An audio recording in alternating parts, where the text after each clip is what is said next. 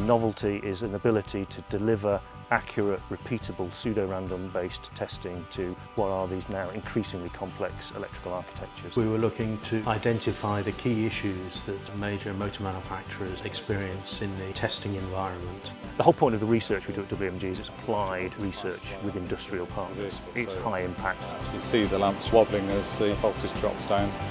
There may be 70 or 80 different control systems within that vehicle all talking on different networks. Traditional techniques really need to move forward to be able to cope with those sorts of complex architectures.